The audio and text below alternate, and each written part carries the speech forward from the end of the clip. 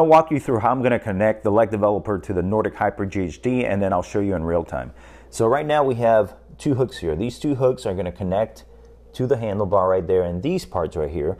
There's a couple of these. There's one on this side and one over there, that hole. That's going to sit on top of those holes where I'm going to be using these loading bars to screw it together. And that's really, that's all there's to it. So I'm going to show you now in real time. All right, so now I'm going to connect the leg developer to the Nordic Hyper. So I just make sure the hooks go around the handle and then I use the loading bar to secure it in place. So I'm going to do this on one side until this is tight all the way.